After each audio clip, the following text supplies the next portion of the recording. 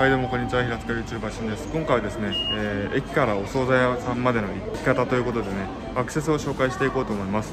今西口改札にいるんですけどもここから、えー、案内していこうと思います、えー、北口改札じゃないんでねそこだけね注意お願いします。それでは行ってまいりましょう。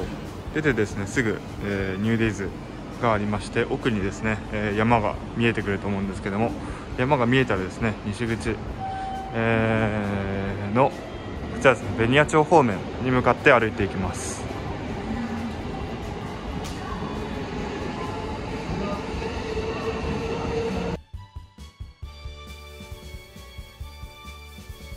これですね。JR 平塚駅、えー、西改札口で降ります。王将がね横にありますね。で目の前には中尾があります。で横断歩道を渡ります。で中尾を左です。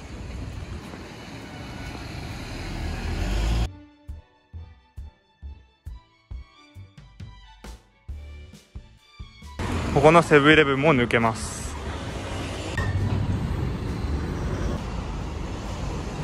ここでね、えー、左手にクリエイトを抜けます。で前にね、えー、太古の湯っていうね、えー、愛されていたサウナ温泉があったんですけども今なくなって更地に、ね、もうなってましたね。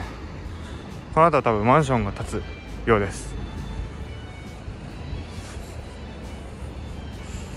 でここで右に曲がります。こまっすぐ行ってもこっちすぐ渡ってもいいんですけど今回渡っていこうかなと思います。ここ車に気をつけて渡りましょう。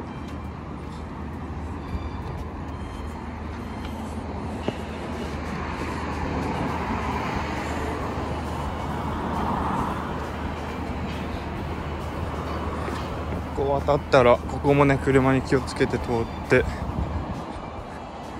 この道をまっすぐ進んでいきます。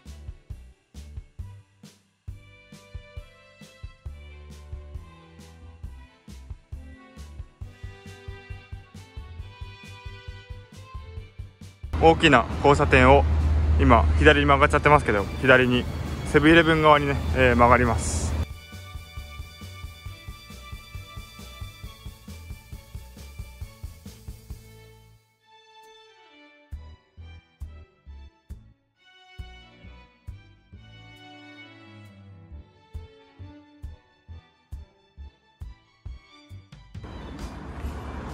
この信号もまっすぐ進みます。こ渡ったらね株式会社激輪到着です。